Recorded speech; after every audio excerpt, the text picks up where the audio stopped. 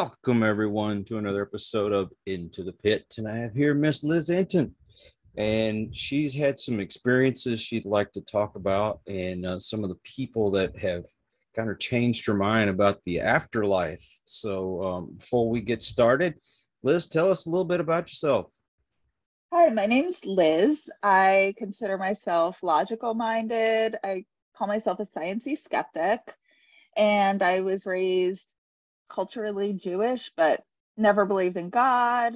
I actually still don't, but I have that's what I always associate with an afterlife. So I always thought of that as wishful thinking. I mean, who wouldn't want to believe that? I just had never seen any reason to make me believe it. So unfortunately, in 2015, I lost my dad. I was pretty young and really didn't know at all how to deal with it. And I just decided I was going to take a huge shot in the dark and just basically Google if there would be anything that could give me valid evidence of some form of survival of consciousness. And kind of turned into a crazy story. And I have since written a book on the topic and have a podcast called WTF Just Happened. Okay. So, um, what personally have you experienced that has kind of changed your mind? Okay, well, the thing that even opened me up to start having personal experiences was the very first thing I found was kind of went to see if there was any evidence of past life memories, and I found some researchers and Dr. Jim Tucker from the University of Virginia. Then from there, I just went, you know, found more and more, including scientists who were studying psychic mediums. So that's where all the personal experiences began to happen.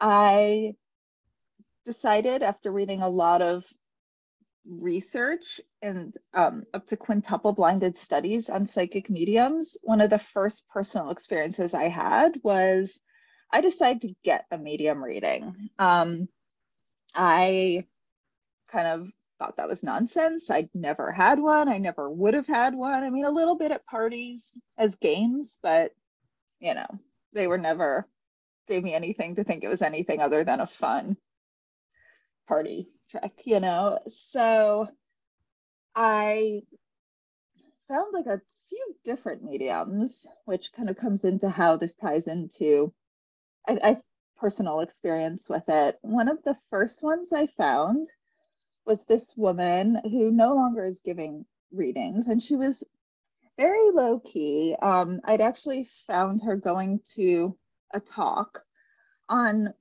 some of the kind of more psi paranormal research, and I got the name of her of a medium, and I was already on a wait list with another, which I'll go into in a second. And so I, you know, no one the person i got the name from didn't know who i was. I wrote her i gave her aside from my first name liz which is com- which is pretty common i gave all fake information. I even used a vpn in case there was some technology. When i emailed about the session i used you know fake last name. She ended up saying she wanted to be paid in cash Although for future medium readings, when they want you to pay in advance, I've had friends, not family members, pay using their Venmo or PayPal or however, just so there's no way she could know who I am.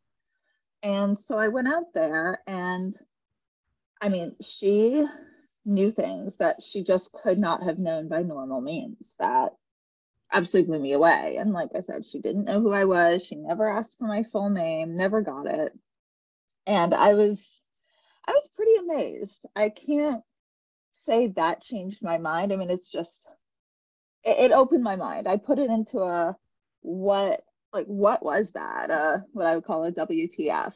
And I I, I I couldn't explain how she did what she did, and I'd been researching a lot. But you know, I mean, kind of talking about defying the laws of the universe as I understood them to be. So one experience isn't going to change my mind, but that experience combined with a lot of the research was wow. part of it. I had plenty more experiences, which I'm happy to talk about too. So.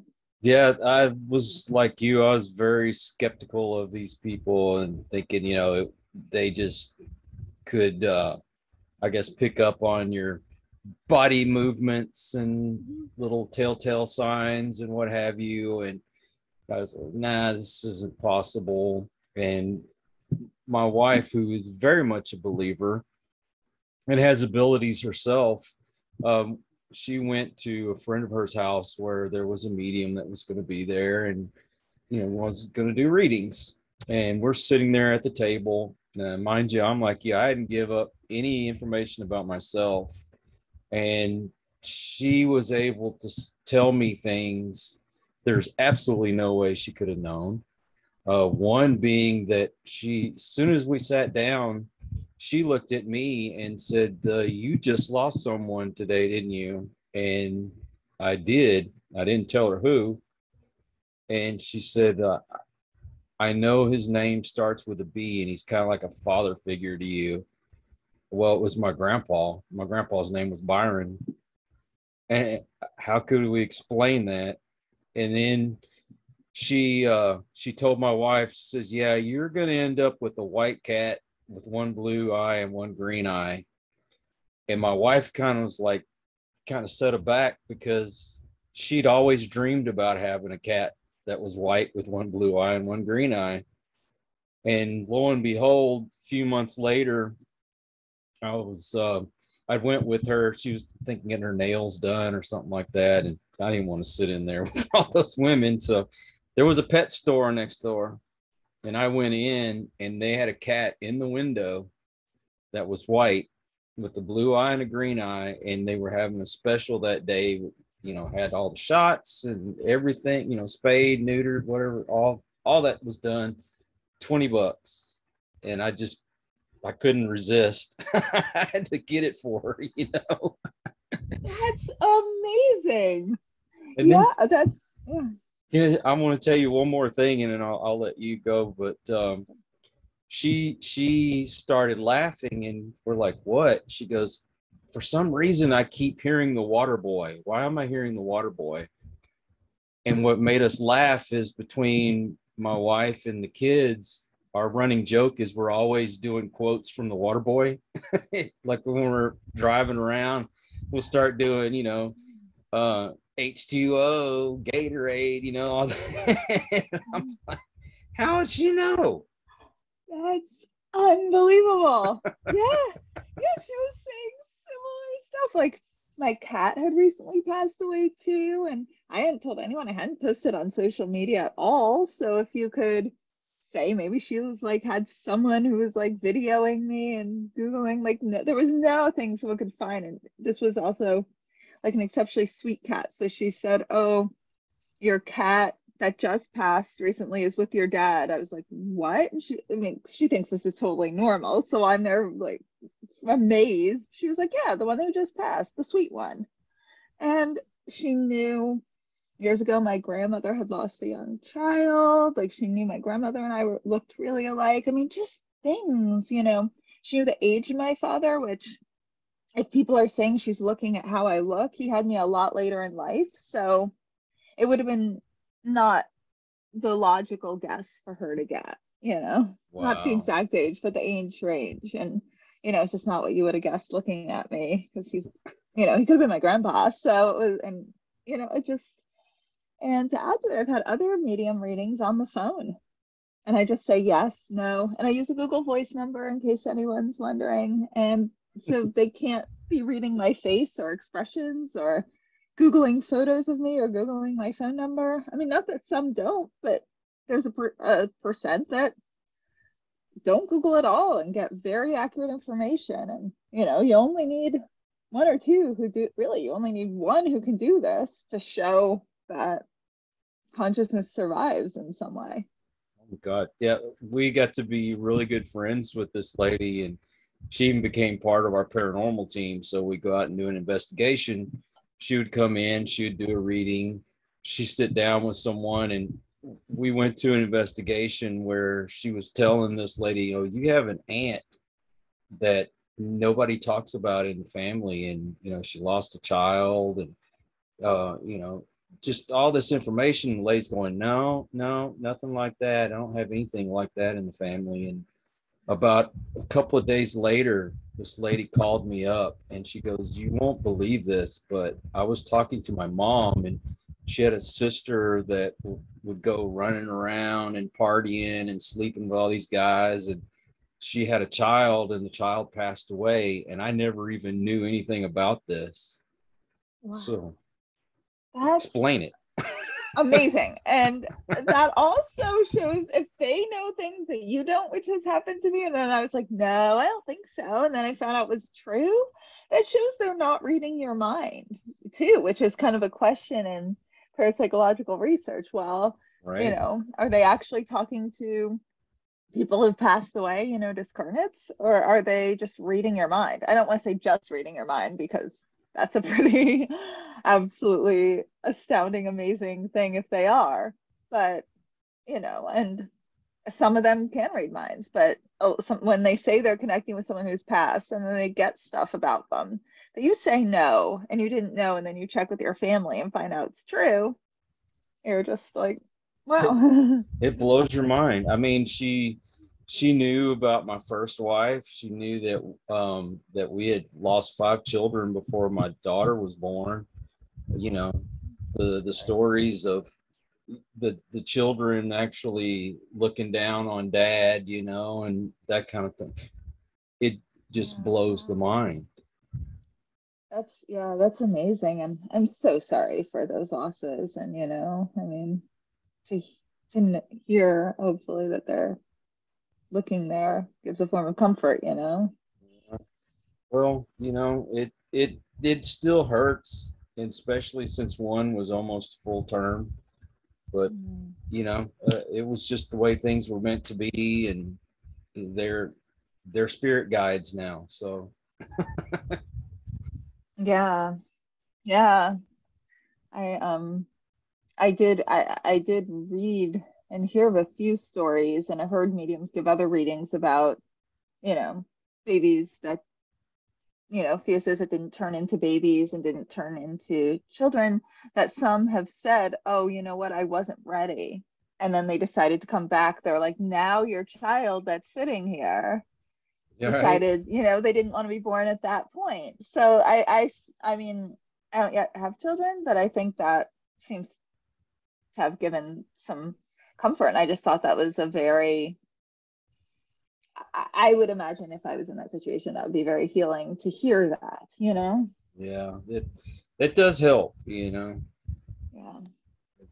Yeah. The things that mediums are able to pick up on, you know, I, I don't, I just don't know how without research and the things that they're telling me is stuff you're just not going to find online no, no. I mean, just amazing. Like I can share another experience I had. Um, I mean, I had multiple medium related, which I'm happy to go into, but another oh, yeah. sort of paranormal I can talk about is I once bent a spoon and had another spoon bending experience. And what? I'm happy to talk. Yeah, yeah. So it was, I mean, it like had multiple layers to it, which made it so crazy. Was so I told you I had that one medium reading. At that same time, I was re- I was trying researching mediumship and getting different readings. So during this time, I was following and reading everything by Dr. Julie Beischel and Mark Boccuzzi through Windbridge. Do you know their work? I know I know the name Beischel. Yeah they do up to they're the founders of the Windbridge Institute and the Windbridge Research Center, and they do scientific studies of mediums to research if they are, um, if you know, are they getting accurate information? To what percent? Um, are they do everything where they eliminate any chance of them doing cold reading and hot reading? I mean, you can read up to their quintuple blinded studies from their website to learn more. And you know, don't want to speak too too much about it. I felt something, you know, I wasn't, you know, that I would leave that to Mark and Julie to speak, Mark and Dr. Beischel to speak properly about. But so I was going down the list and I see their certified mediums, and I find the first one who's in New York, and her name's Laura Lynn Jackson. And I mean, she ended up playing a pretty important role in my life. She introduced me to this woman who probably was my main rock and mentor in my grief and researching this, who sadly passed away, Fran Ginsberg. Um, she passed of cancer over quarantine. It was unbelievable, but uh, unbearable. But you know, I always have just such you know gratitude that she came into my life during just a time I felt I couldn't even go on. But so before I met Fran, before any of that, I found I went down the list for Windbridge, and the first New York-based medium I found was named Laura Lynn Jackson, and I emailed about getting a reading. At the time, I did not know this, but she's, you know, what considered one of the world's top mediums. She has, you know, long, long wait lists. So, you know, I think she stopped doing readings and um but at this point, you know, she's still working her way through her wait list. And I mean, I wrote this, I emailed her years ago, and I'm still on her wait list. But regardless, she did group activities and and group workshops. And at this point, also, I'll just say I picked her. My thinking at this point was she was the first one I saw that was in New York, and I was New York based, and I thought getting a reading, I'd want to watch the medium to make sure they're not googling or cheating but I've come to think phone is more evidential as long as you give a fake number and don't give your last name because then you know they're not looking at you. But right. regardless, I 100% trust Laura to be genuine and I've seen her read and groups and she's unbelievable. But back to spin bending. So I'm going off a little on a tangent. So I go to her workshop and it was a little, I would say coincidental, but you know, mediums will say there are no coincidences, is I was also taking classes at the Rhine Institute with Lloyd Auerbach and John Kruth, if mm-hmm. you know them. Sounds familiar. I'm not going to say yeah. off the top of my head, mm-hmm. but uh, they sound familiar. Yeah, they're parapsychologists. And in one of Lloyd's classes, he was mentioning spoon bending. And so the night before Laura's, I was like, well, I had always thought spoon bending was um, like fantasy magic trick. And I thought, well, you know, next few days I'll have to research places that do this because if I ever saw anyone bend a spoon or, exper- or experienced it, if I saw someone, I would have thought it was a magic trick. But if I experienced it, I would really give all this some credit. So I ended up going to Laura's, and oddly, you know, the very next day after having that thought and writing a little note in my app, you know, find spin bending places, Laura said in her workshop, "Oh, we're gonna be bending spoons today." It's like what? Um, and so she's passing out all these spoons, and I'll just add, I went with a friend who was like kind of a big guy, meaning that he's a lot stronger than me by far. So, but he's kind of a very mellow guy, so he doesn't have much energy. I'm like a really high energy person. He's just like super chill. And so they pass out spoons and Laura's like, oh, everyone just try to bend it naturally. And I'm trying, and obviously I don't have that strength. My friend I'm with, Jerome, is trying, you know. And then Laura's like, okay, stare at it. I forgot what, like you look at it, say bend, shout bend, and then I did that. And I felt I look over and I see other people bending their spoons. And I was like, what the like, oh my God. And I was so shocked. Then I felt my spoon get like super hot, but it didn't hurt. And it got really soft and I just bent it. And my strong friend wasn't able to bend his, and they say it was energy, and I'm the high energy. I mean, still have the spoon. And then, second part to it, if you think this was a trick, I went to another spoon bending workshop held by the Forever Family Foundation, where I volunteer, and they help also that Fran Ginsberg and her husband um, Bob, who still is a mentor, an important person in my life, are the founders of it. And I went to another spoon bending workshop, and this one was being taught by Lloyd Auerbach and a few mediums, I think Janet Mayer, and I forget who, but it, like a few other mediums were in the workshop with me, and there was maybe only six of us. And, you know, all of us were actually pretty like small, like women. I wouldn't say any of us are like strong, and we're taking out all the spoons. Lloyd's like dumping them on the table. I'm the only one who's not a medium, not spiritual. And meaning I have like the least access to like energy as they say they think they bet that bend spoons. And I couldn't bend any. And I'm starting to hand the same ones I can't bend to these mediums and they're just bending them up like it's nothing. So I couldn't do it again. And I thought it was evidential that the spoons I couldn't bend, then people who are mediums are bending the exact same ones literally two seconds later. So that's crazy. I would crazy, love right? love to see if I would be able to do something like that. I just I don't think I have the the energy to do it. But wow, that's crazy. Yeah. I haven't been able to since just that one time and when I really needed to do it emotionally. So, you know, these are just small parts of all my personal experiences that keep happening while I'm researching. Yeah, it it's amazing what these folks can do and the uh the, you know the energy that they have not only to do these things but also to help heal and comfort people. It's you know I've, I've lost quite a few people in my life as well. Um, my father my brother and my best friend within just about four or five years all ended themselves and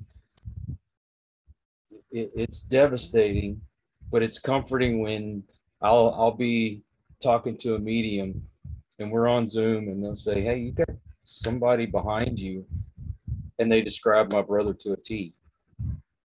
So he's always here with me. Um my my uncle who i barely knew uh, he he passed away in prison, and he spent most of his life in prison. And they describe him to a T. They every time they see him, he just comes in to say he's proud of me and say hey and keep doing what I'm doing. yeah. It, yeah. I just don't know how they do it. Yeah, uh, I'm really yeah, and I agree with you. It's just it's so healing and soothing and yeah, no one knows how they do it. That's the thing. I think that's where I always get stuck a little bit. I'm like, but how? I mean, mediums don't know that. None of us know what is the substance of consciousness that you know we continue in when we pass away i mean there's little bits we know but or possible i wouldn't say no they're little bits of theories you know like you know like I guess you've have you heard about micro? Uh, my apologies if I'm pronouncing this wrong. Microtubulars or microtubules. Um, I'm not sure. I don't think I've heard that. Tiny hints of how this works. That um, these were being are being talked about by Dr. Stuart Hameroff and Sir um, Roger Penrose, who've worked with Stephen Hawking. I mean, they're won Nobel prizes. They're you know really like admirable physicists and they both are researching afterlife evidence and they seem to think there's a part of our brain they're calling microtubules or tubulars and it's a possibility.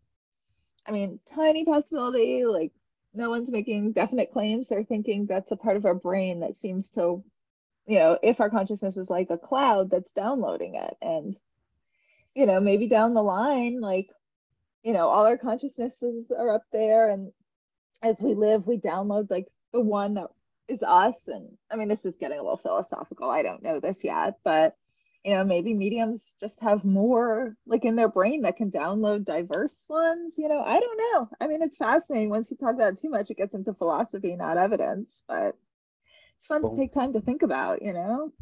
Well, I, I believe that there is a universal consciousness and that okay. we do download certain information. And that's why you'll have a guy on one side of the world and a guy on the other side of the world who will come up with kind of the same idea at the same time. I mean, it's been evident when you have somebody that comes up with an invention and uh, a person somewhere else, you have no connection whatsoever, but yet they'll have the same idea around the same time. I guess it's just a a race to see who's going to put it together first. But, right. Know, um, yeah. I mean, I don't. Do you watch Ghost Hunters? I don't really, but I mean, I'm fascinated by the top by the topics, you know, there's right. normal investigation. So tell me what well, anything there, about it.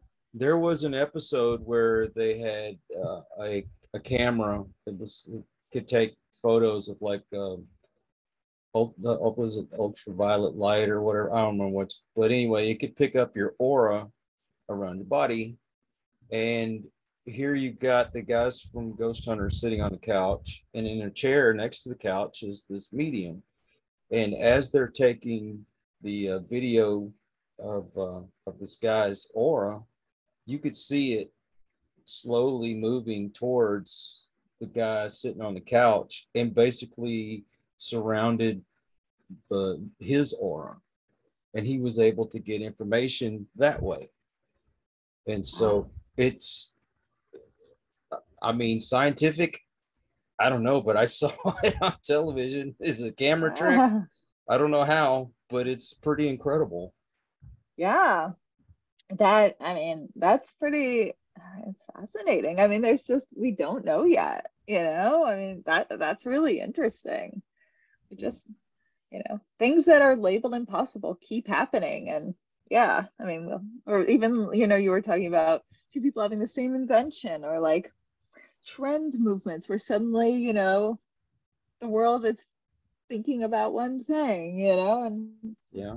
have have you followed the global consciousness project that's studying kind of those things? I haven't be really into that. I haven't followed it but i i know the premise of it and I, I know also that you have uh, spiritualists and and uh, mediums that are trying to get us all to think more positively.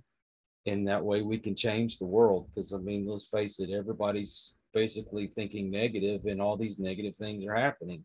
So if they can change the that well then maybe you know our environment would change are we headed to the end of the world? I don't know. I just know if the aliens come, I want to go with them. I, I don't disagree with you there at this point. Yeah, yeah. I, I mean, in reality, there probably have been. I would. It seems that there's like lots of ends of worlds, like lots of big bangs, big crunches. You know, tons of different worlds. We probably lived on all different planets as species, but you know, let's not speed it up. yeah. I, am ready to go. I mean, there's t- some days I get so down. It's like just end it all now, God. Just send a send a comet and just blow up the whole world and get it over with. Um, I, I hear you. I hear you. It can get just so sad sometimes. You know, it's just and people can be so mean to each other and you know you're kind of like why? Why? Yeah i i experienced that um i i'd made a comment on on a, a instagram post. And mind you it wasn't anything bad. I was just it was a funny post and i was just yeah. adding to it you know my own funny spin on it. And somebody just decided they wanted to come in and be ugly and uh, instead of just backing away from it i fell into the trap and i got ugly and then i realized what i did i'm like this is not me. I don't do these kind of things. And so i got on there and i was pretty much apologetic about it but you know they want to keep enticing and enticing and i'm like look you win. I'm, I'm done. And oh. and then i get blocked you know? It's like you know you started this mess. Why are you why are you blocking me? I'm even if you don't agree with me i still you know i still want to talk to people. I still want to be friends with people. There's no reason why if we don't agree with something we can't be friends. So right. let's let's stop all this arguing and hatred that seems to be going on in the world. Yeah yeah. I agree. You know, I mean, I think I try to think sometimes when I see the meanest comments, I mean, I'm like, maybe it's just a route, like a bot, or sometimes you know, it is. Some of the, you know, the farms, you know, that people are just, you know, people who are taking jobs. You know, I mean, I guess a lot of things that you're like, wow, I'd hate that person. You hear the story and you're like, it's really different than I thought. Like even you know, something I, I think everyone can agree on that's horrible are the scammers, all the online scammers. And anyone who does that, you're like, what a horrible person. But then I heard a podcast where some of them have been trafficked and they're in and they're stuck somewhere. Oh and there's been traffic. So this person who is scamming you just has no choice. And I mean, not that it's okay, but it just, it, I, wish I could remember the podcast I'd suggested, but it was just such an eye opener when I heard that. I'm like, you know, when you're having an interaction, you really don't know the story. And I mean, we can 100% agree the people who traffic them, I mean, it's jail for evil. life, disgusting, pure evil, pure yeah. evil. And the people in charge, but that individual you're engaging with, sure, some might just be evil, but some, yeah, I, I don't know. That was just, for some reason, that just really sort of, it was just recent. It was like maybe two weeks ago I heard this. It was, it was a big change in perspective that how little of the story you know of who you decide to hate. And yeah, once you really know, go ahead. If you find out this is, you know, one of the people running the scams, go ahead. But that little small, like five minute interaction, you know, speaking from a place of like privilege in the sense that like I did not get scammed ever in that sense. You know, I know how to fall not to fall for them and people who do, you know, yeah, I mean there's a level to how your grades of anger in situations, but I don't know, that was that was a big eye opener to me. I guess we're getting a little way up from paranormal, but still, I guess it ties into like an energy and global consciousness, you know? So. Oh, it's it's awful. These people they hack accounts. Uh, my mother-in-law had her stuff hacked, and she had to close all her credit cards and all this other stuff because somebody had hacked her account. Uh, I had somebody just this morning who messaged me and asked me, you know, what would you do with twenty four hundred dollars if you had it in your account right now? And I'm like, who is this? I mean, it, I could tell where, what account it was coming from, but I knew it was hacked because this person wouldn't do this. And they're right. they're like, why? And I'm like, because this just sounds like one of you know somebody had hacked an account, and then you know it's like, oh, I wouldn't be scamming and that BS and you know all this, and I'm like, okay, I know this person wouldn't talk like this. Right, and, right. And they're like, uh, well, what would you do? And I'm like, well, I would help out these veterans that I'm trying to help right now. And they're like, oh, well, give me your cash app. And I'm like, nope. Nope. I'm not doing it. Oh no, of course not. You know, I mean, I, I shouldn't say of course not because they're smart people. You know, they're falling for this stuff, and yeah. oh, and I mean, that's also I'll just add that's very kind that that's the first thing you would think to do. You know, that you know, helping and supporting. You know, I mean, that's really it. It's about helping others as much as we can, and yeah. you know. Well, you get a lot of the older generation that they don't understand about you know the hackers and all that stuff and so they're they're taking this as genuine conversation with someone that they know and they trust them and then boom they get hurt or they you know they get ripped off uh-huh. and, and it's it's sad that people feel like they have to do that to other people just to make a living it's not, yeah. you know, they don't think about, oh, well, maybe this was a single mother who's got, you know, three or four children and you just took their rent money and their their grocery money for the month and you've left them devastated. Well, what do you do? It's not yeah. right. It's not right. And that's one of the reasons why I think this world is the way it is right now is people just don't care about other people anymore. Yeah, I'm gonna just question though about anymore. I feel like sadly this has always been a part of human nature. I think maybe now more than ever we have access to non face to face interaction. So, but I don't know. I mean, you look back to like a couple thousand years ago, there were tribal wars and people killing each other still. I mean, I think unfortunately that there's a portion of human nature that's very loving and a portion that's just I love to say pure evil. And whether you know, it's questionable. Some people say nobody's evil. And I do think, as I was saying about the scammers, and I think some people that behave purely evil, if you, you know, as they talk about with near death experiences, you know, once you understand everyone's situation, you'll say, oh, well, nobody's actually evil if you knew their whole story. Like, but I don't know. I, I have a hard time believing that some people aren't pure evil. I don't think the majority of people who do bad things, that's all there are to them. But I do think there are people that make a lot more evil choices and become worse and worse people. And I would have yeah. to say there are a few pure evil people and a few just, you know, it's the exception of the each end of the extreme. Some people who are just so loving that, you know,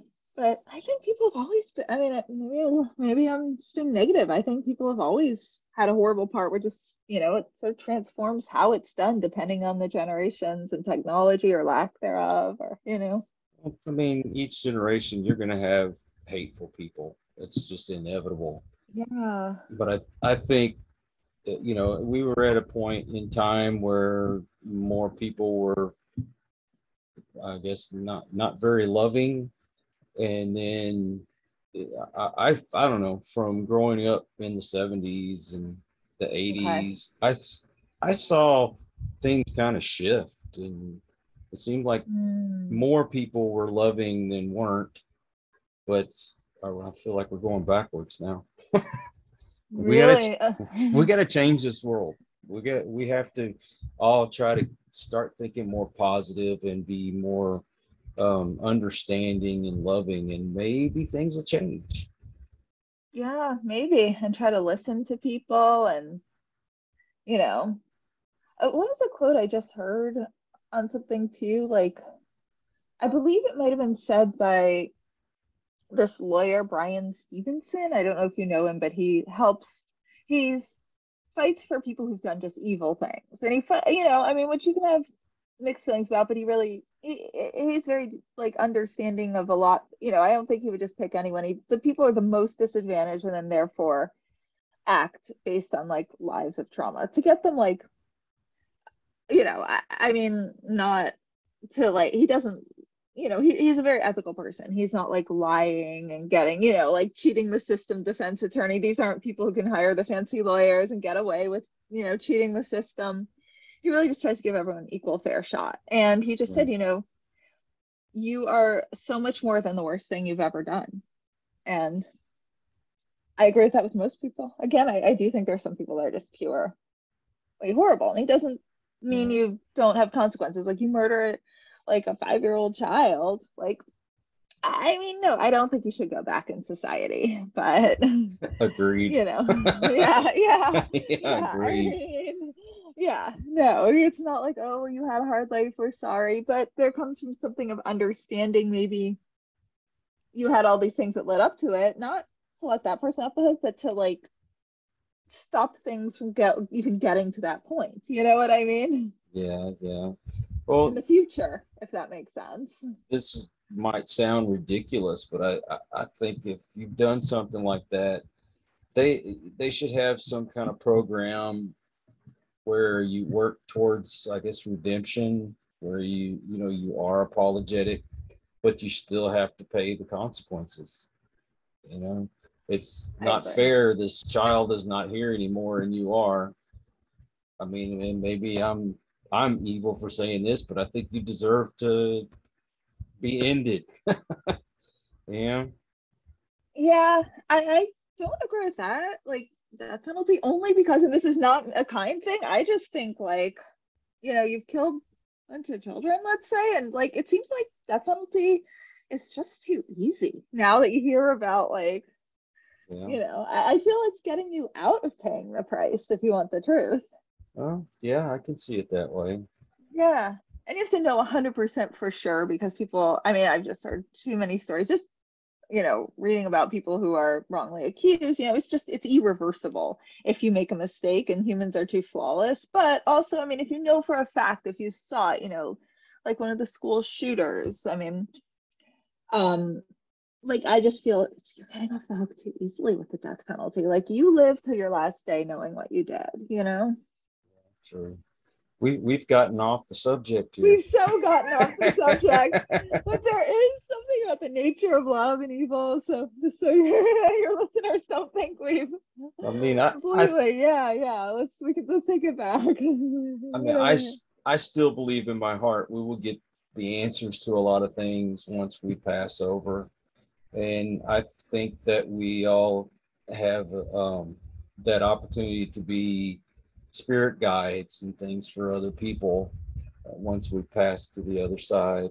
Uh, I wasn't a big believer in um, in past lives and that kind of thing, but I did a, a past life regression where I basically hypnotized, taken back in time, and I was a child in the 1800s, you know, and then I talked to a medium and she did a reading on me and she's one that's really big into past lives and she says yeah you you um, were a you lived in the 1800s but apparently had like three different lives during that time.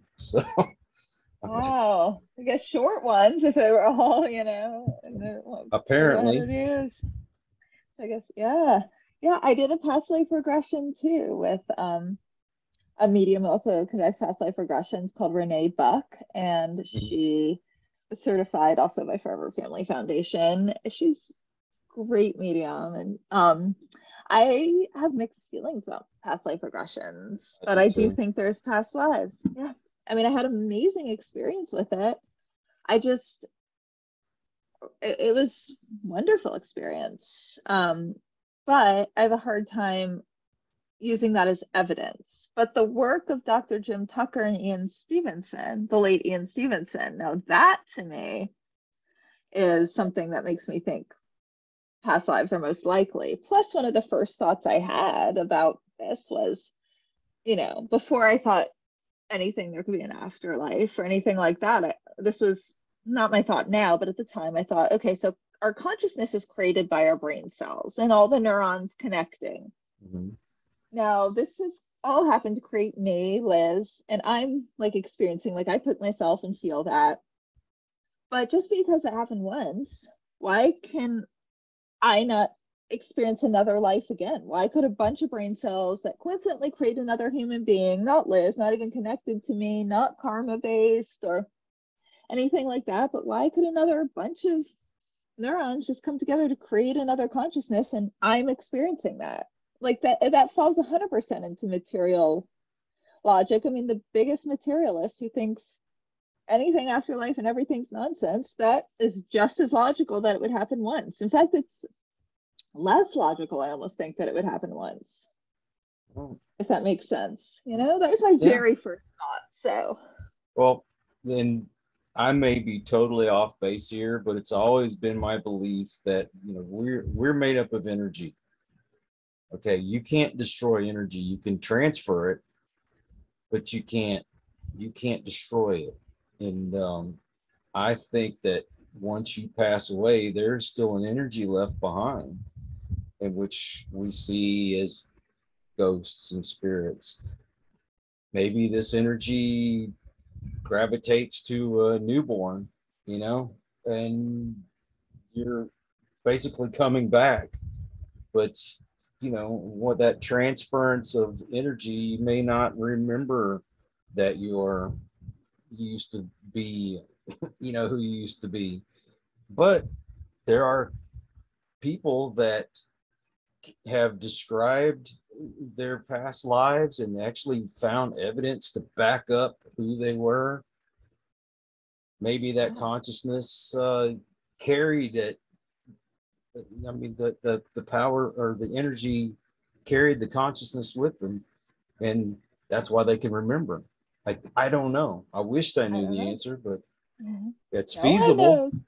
I kind of agree with you. I have come to, yeah, since my first thought that I was saying when I thought consciousness was created by brain cells with all this research, I pretty much agree with what you've said. I've come to think that ourselves are somehow stored in energy and we pulsate in and out of different experiences in different dimensions some as humans here some as probably, you know, beings on other planets, some materials, some non.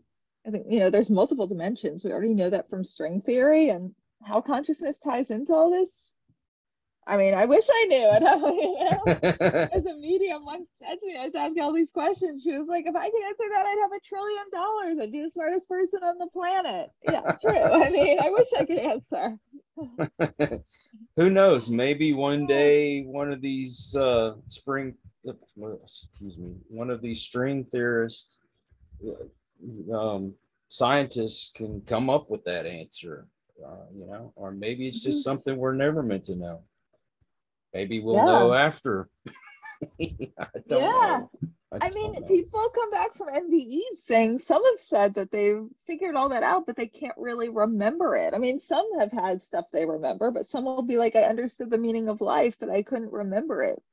I also think maybe it's something in our brains we just can't understand. Like, we can't understand the concept of infinity. You can kind of intellectually get it, but can you really understand infinity when you think, picture infinitely in the past, infinitely in the future, and then you add that to space too, infinitely going out past the universe? I mean, your minds just cannot wrap around that, really. My theory on that, and once again, I could be totally off base, is you know, time, uh, like God, one and the same and it's like a, a, a ring. You know there's no beginning and there's no end. It's just constant. So we can't wrap our brains around that but why not you know? Yeah. possible why not?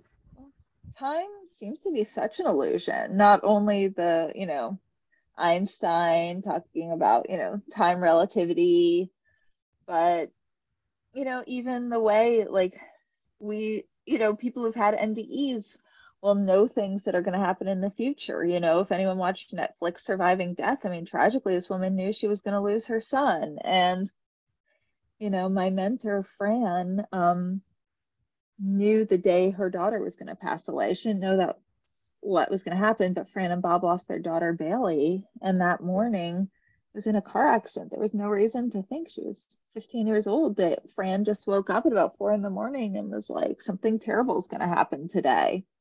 And they all kept the family together. I mean, we're as responsible as could be. And, you know, she sadly passed in an accident heading home from a family dinner. You know, I mean, they couldn't have been more careful. And it just, it, it combines what is already written and planned for the future. What does the future mean? I mean, and I've known little things. I've noticed, I mean, just stupid things. Like, I mean, I wish I could know big things. And of course, now that I study this, I make myself like nuts thinking I know big things. Like, you know, after you have lost, I think there's always a bit of PTSD. So I'll be like, oh, I'm anxious. That means like my mom's going to die. Now I know it. Like, I'll do that to myself all the time, but I'm not really predicting it. But I've noticed, you know, when I write down dreams, and I've heard others have done that, and there have been books on it, like I believe J.W. Dunne, even in the 1920s, wrote a book, I think Experiment with Time, where he noticed when he'd have dreams, they were things that came true. When I started writing down my dreams, I noticed that too, but really stupid things. I'm like, can't I dream the lottery number? Like I dreamt that they were giving like a certain juice at my gym class, you know, and I was like,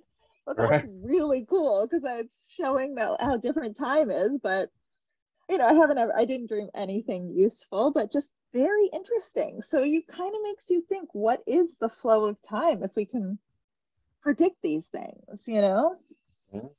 Maybe since uh, there's the possibility of past lives and that whole uh, ring theory that I came up with, maybe that consciousness catches up with uh you know it's it just they say history repeats itself maybe it literally does maybe it's like having a a, uh, a dvd of a movie and you just start the movie over again eventually maybe the consciousness catches up with what had happened previously and you're seeing it you know i don't yeah. know I, yeah. it's it, it's pretty incredible to think of mind blowing to think the possibilities.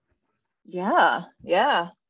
And then that makes you wonder, well, why am I still making these same mistakes? Do I have to keep making the mistakes every life? Or is that when you start getting instincts? You reach a dimension where you're like, eh, you know, you've done this one mistake enough that maybe your 50th time in this life that you're repeating, you're like, I have a funny feeling about that. I'm not going to go do that. And, you know, like maybe you get better and better at this life each time. I mean, again, that's philosophy, but I have read that as a theory. You know, I don't know. Somehow the thought of just kind of reliving the same life with the same mistakes again and again. I mean, I have mixed feelings about that because it's like, oh, I get to relive that part of my life, but then it's like, oh, and then I also have to relive that, you know? And yeah, there's a few things I wished I didn't have to repeat then.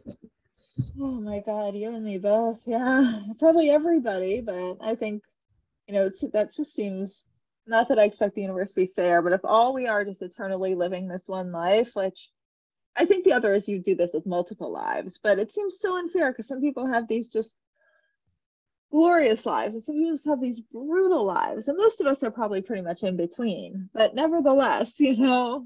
Yeah.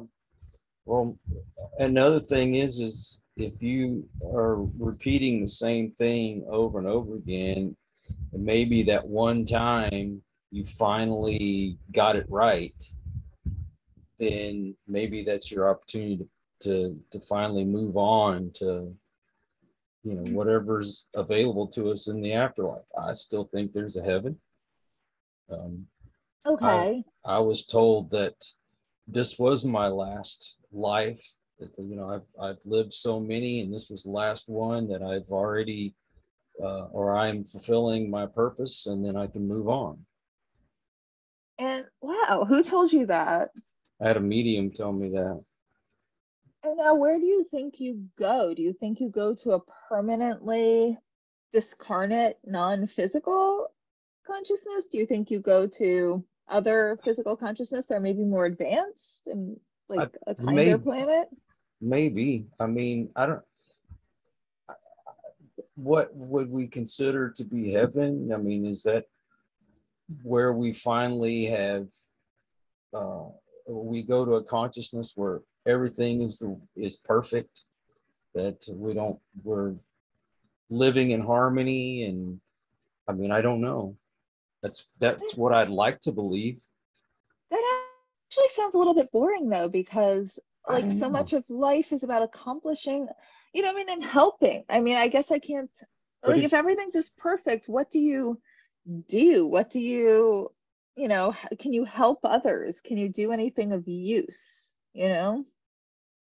Well maybe that's uh, an advancement in our way of thinking that we don't have to help anyone and we're more of you know um and, and who says that we're not helping someone? Maybe we become that that uh, spirit guide and we are helping people to uh, to evolve. We're trying to get people to come to where we're at and become spirit guides and angels and things like that. So we are helping. So maybe that's our purpose is we're helping, but we're helping from the other side.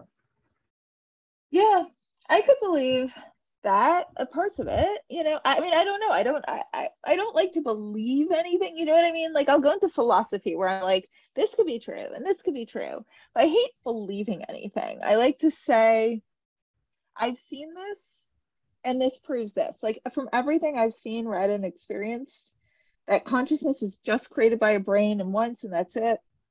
Uh, everything i've experienced contradicts that. I've had so many you know i mean I've ha- i have like a traumatic day where i'm like oh i'm so missing my dad. I'm missing my mentor my grandma animals everyone. And oh i must have made all this up and i'll go into like you know i'll have a really depressed day and then i have to sort of talk myself through it or i've become good friends too with a medium um, joe peretta and he's one of the best ones, you know, also studied by scientists. And he's become a good friend of mine. And like, he'll kind of talk me out of that. I'll be like, Joe, I'm freaking out, you know, because when you're also good friends with someone, you know, they're not lying to you. And you know, they're not, um, they're not delusional, you know? And I'm like, you know, I mean, I have friends, as I said, I'm for myself, like I've never believed in God or that, or, you know, I have friends who are friends of faith and I totally respect that, but they're not coming to me saying, I, know this from a scientific base. I saw this and this. They'll be like, well, this is faith. And I'm like, that's great. Like, I you know, who, how can I have any opinion on that? Then that, that's wonderful. I'm always happy to hear why someone thinks something. But like when Joe comes to me, he's not talking to me, or Renee is another friend of mine, Renee Buck. They're not talking to me about faith. They're saying, I experienced this. And then they're doing things physically, you, you know, like knowing information they could not know. So that's, you know, I hope that didn't come off as knocking religion in any way. I mean, I hope it's only helping people who don't think consciousness survives, hoping to help give them hope that it does, or, you know, so that's really why I try to say that to show my level of skepticism to help give people hope rather than knock anyone's beliefs, you know. Just... Well, think about this how how much you miss your dad and and your grandma and and other mm-hmm. people that have been in your life and your animals mm-hmm. and and if you had the opportunity to see them right now how elated you would be the joy that you would feel. So why is it that we are that's not going to be part of our experience when we pass on to the afterlife that we're actually going to be we've got that joy forever and ever? Oh it seems like it could it seems like it is from near death experiences. I guess i have a hard time thinking it's forever like you probably go on and do other things i, mean i don't know again i don't how can i know but i mean i, I don't know that's just yeah. a guess I think you do see them again. I hope very much, but I think so based on near death experiences. But I guess for me, that doesn't mean I believe in a God or a heaven. It just seems like different states of consciousness from physical to non physical. I mean, if there's this huge, major loving God taking care of all of us, you know, I mean, who would mind that, you know? Can't say I'd mind. I just have no, you know, given that, you know, I mean, you then that gets into questions of why are these people allowed to suffer? But if it was like, you know, someone like a loving, loving consciousness that's like, you guys go do you. Some things will work, some won't. Like, I'm here, I love you. Like, I created all this myself, like one consciousness. It just that doesn't add up to me, but like nothing. You know, I mean, I guess anyone who thinks that I would have to say it comes from a place of belief rather than evidence. And it's great. Beliefs, you know, we probably all have more beliefs than we realize we do, if that makes sense, you know, because sometimes you're so in your beliefs. So, yeah. You know, uh, I know a lot of people say that, you know, if there's a God, why are all these terrible things happening in the world? Mm-hmm. And yeah, well, the whole thing is, is you could have, he could have decided that you would just, um, everything would be perfect and you would just believe in him and and there would be no doubts and everybody got along and all that and that's great but is that true love? Is that showing true love? If somebody forced you to love them is it true love? And so you've been given um, free will okay? So your parents who know better because they've experienced things and they could either let you go out and live your life for yourself and give you that free will, or you could stay under their reign and they could say, okay, this is the step, this is the step, don't go outside that. But you experience bad things and you think, why did my parents let me do this? Well, that's I think that's the way God works, is he's given us free will. So he's here you go. You love me if you want to love me. That's the greatest love, is if you love somebody because you want to love them.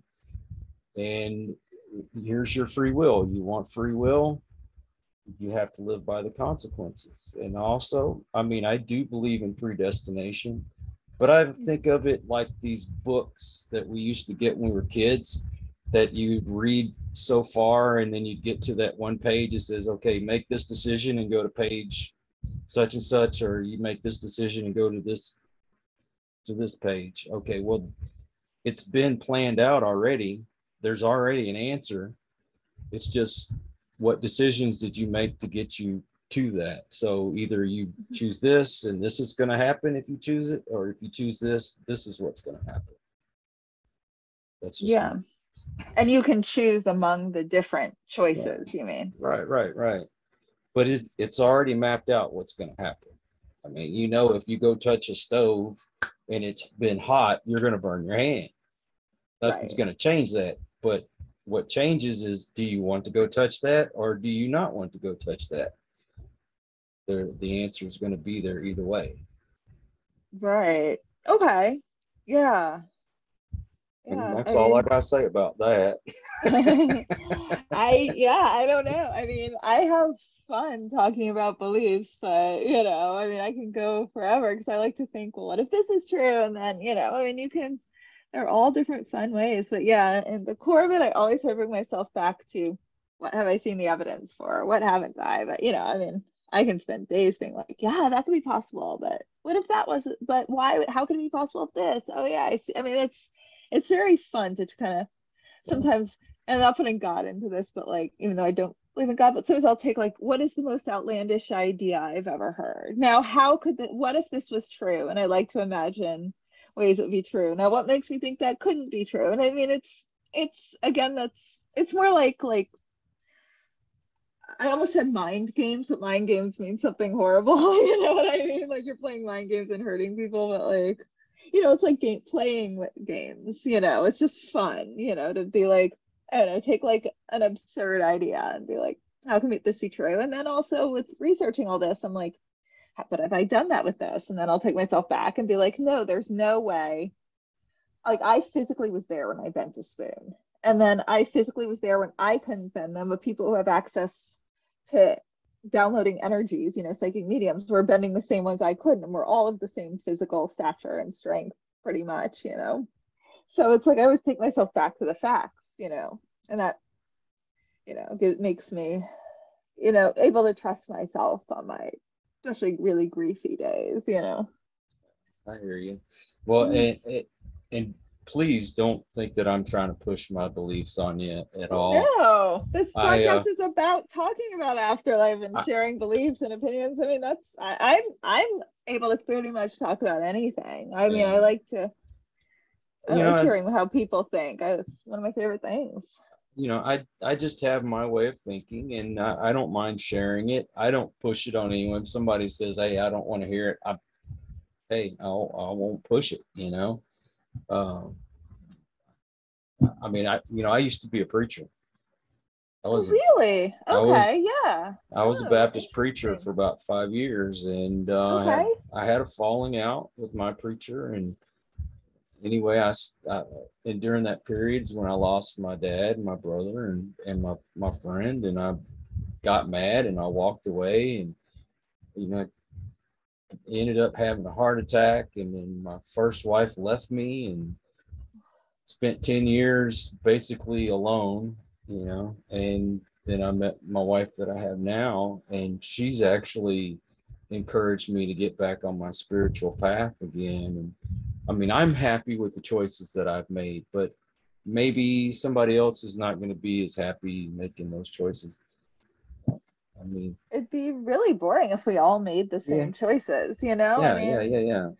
I, yeah, I love to hear how people think. Like if you believe in God or, you know, or, you know, on the other end, if you absolutely think everything paranormal, I mean, that was something I used to be, so I probably understand that more, though I have equal respect for all. But, you know, if you're just like, none of this is true, like a lot of people think, you know, a lot of people I admire just think every psychic medium, you must know it's all nonsense. I'm like, you know, You Like- know, I, I respect didn't that. believe- Tell me. yeah, I didn't believe at one point, but the experiences that I've had, I do believe. And then the evidence of the paranormal that I've gotten on on a digital recorder and on a video camera, on a regular camera, I, I I just can't refute what I've seen. You know, I've tried to. I'm, I'm still probably the biggest skeptic out of the whole group that that you know we started, but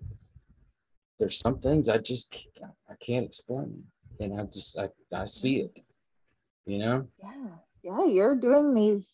You you do paranormal investigations. You're saying. Oh, yeah. I mean, so you're right there. I mean, if am I allowed to ask you a question? Or like, Sure, go yeah, for it. Okay, yeah, in respect of your podcast. Um, so what would you say is like the most mind blowing thing that you've seen on an investigation? Ooh, you know, it's stuff that we've picked up on camera that we didn't see while we were there. Mhm. Uh, there was uh, uh, one of the first investigations that I ever did. It was in Spring, Texas, and the, it, basically the group that I was with, I used to be part of another group. Um, they had been there before, and this was their second time going around, so they had an idea of what was there, and I I didn't know, I, I just I didn't know, but uh, they had their uh, their cameras upstairs, and I was up there, and I was in a room by myself. Mind you, the house was empty. The people had moved out. They just I guess they'd had enough and they were gone. We got to go see what was there. Uh, so I'm walking around barefooted. Okay. I hate wearing shoes. Just tell you that right now. I hate shoes for the fashion.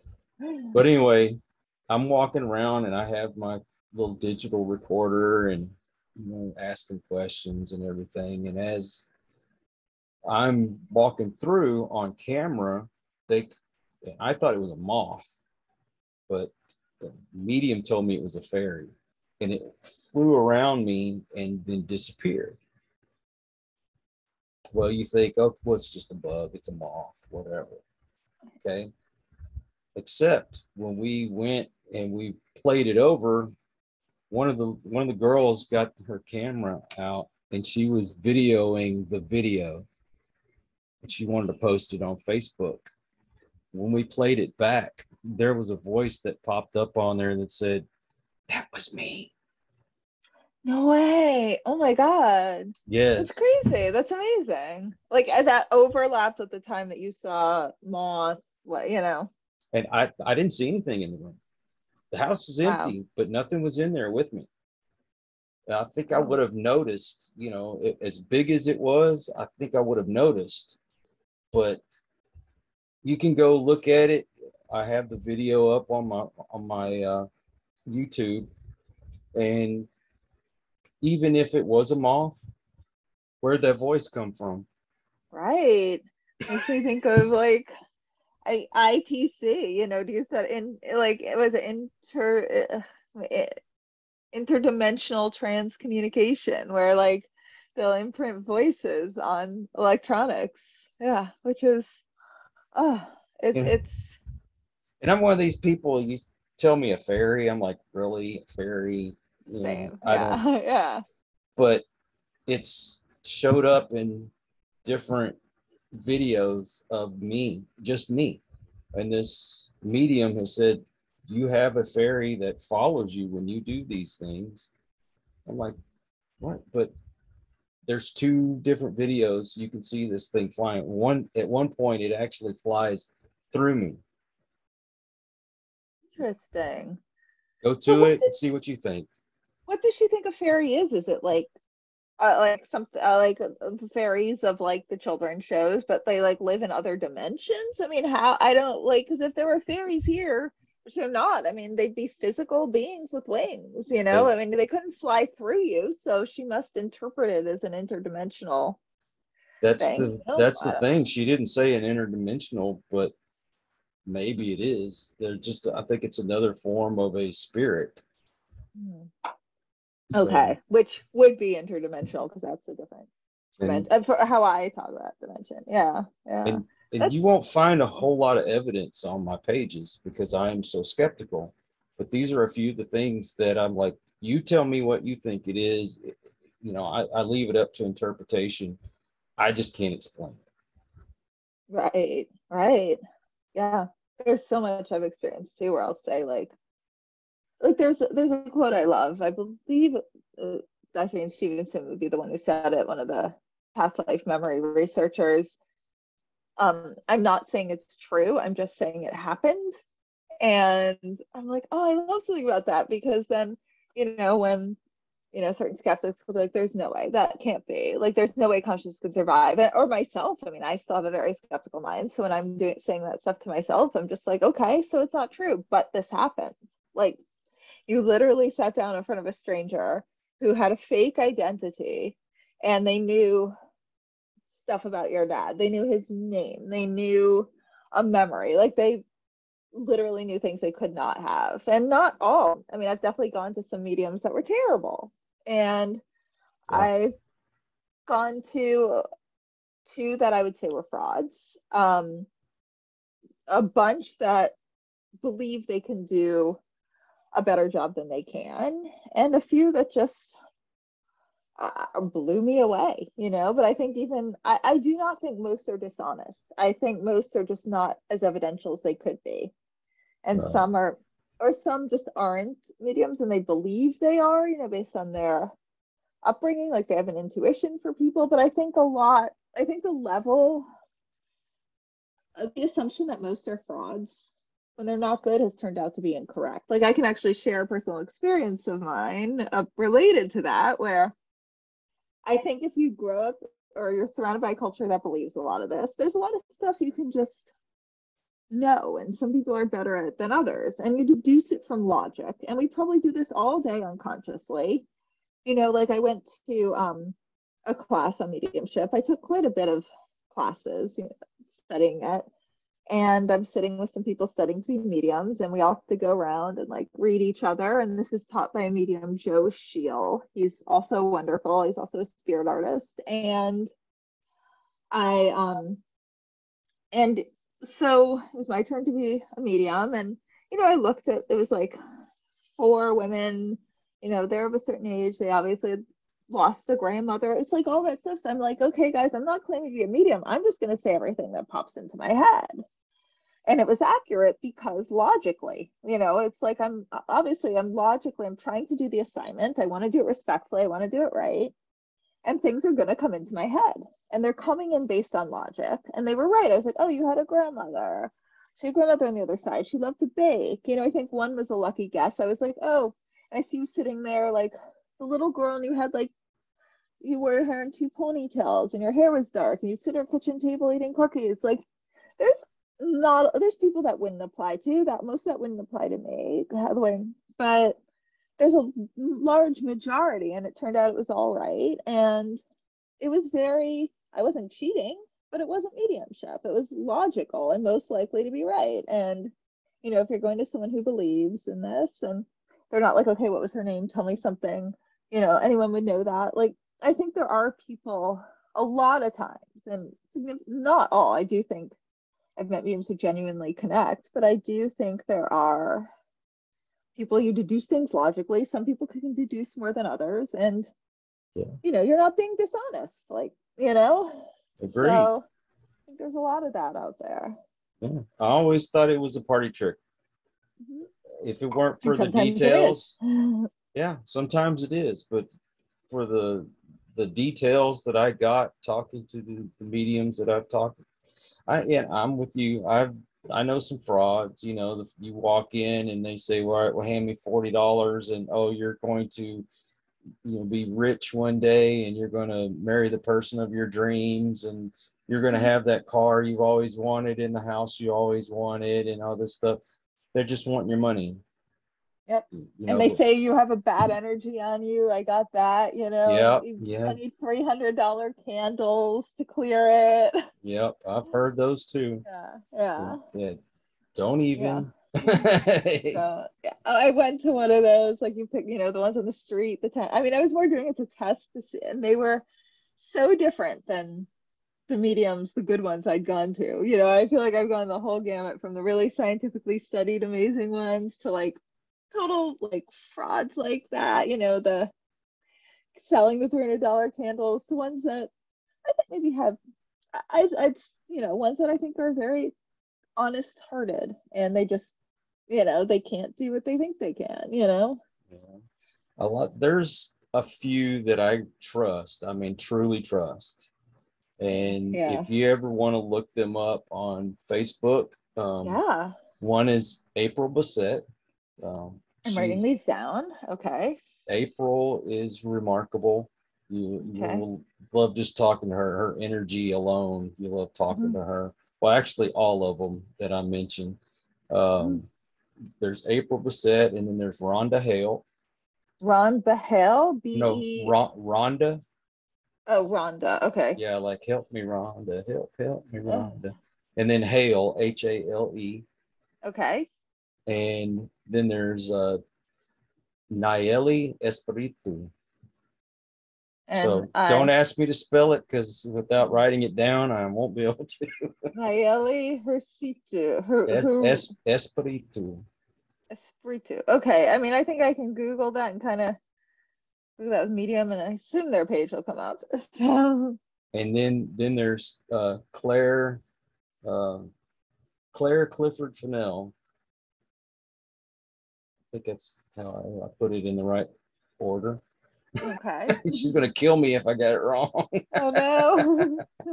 she's out of the UK, but she's Oh, nice. she's wonderful. You can find her. She does live Facebook readings about once Oh, a week. nice.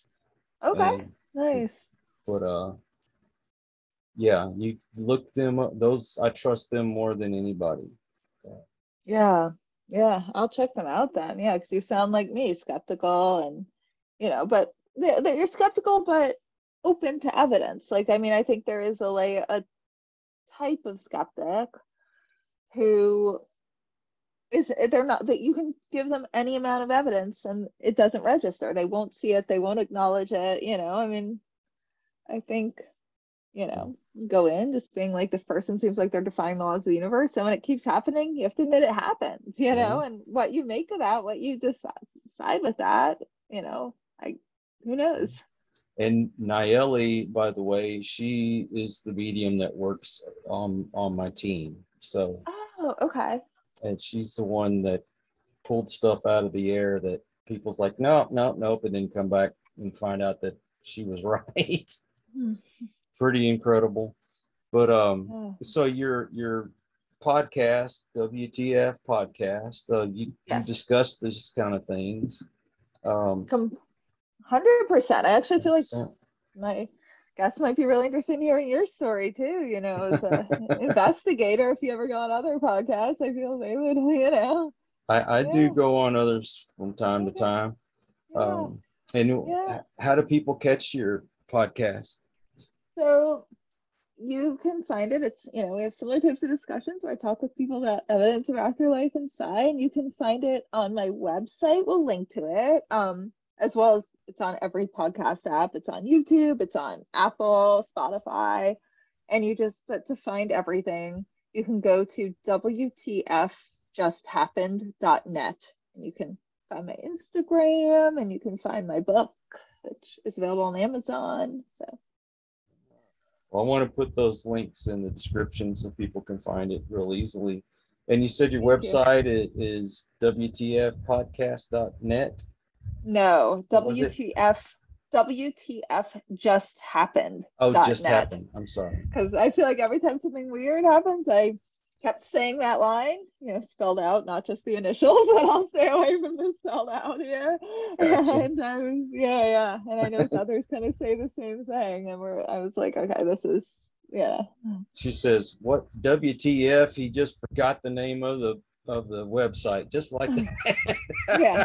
No, the website are is just the initials. I just say when I'm shocked the full phrase, but the initials, the website is literally just the initials. I figured, yeah, that's probably also better for who you know Google. You don't really want some of the other words showing up in Google search. exactly. You might not get, yeah, yeah. I mean, looking into my SEO, I once had a bit of a disaster related to some of those words. I was like, oh god, no, this isn't the whole one I meant. I have to do some cleanup work, big time. I totally get it. Well, Yeah. unfortunately, we've come to the end of the show, and I have to thank you for coming on and, and sharing that with us. And uh, if you you. ever ever want me to come on, I'll be glad to. I'll shoot you an email, yeah. And um, I just want to thank you so much for having me on and giving me a chance to share my story, and hope it helps some people in grief as well as people who are just plain curious, you know, to hear you know, maybe not the most typical perspective an atheist who came to think there was an afterlife. So yeah, I hope the extremity of that helps give people hope. That's really what I really want to do with sharing this story. So Well, thank you again. And I also want to thank all of you out there. If you are new to the channel, you just happened by, I appreciate you stopping by. And if you would, please come back, hit that subscribe button. For my regulars out there, thank you because it's because of you I get to do this. And so until the next one, everyone, please take care. Be kind to one another. God bless and peace. Po boy.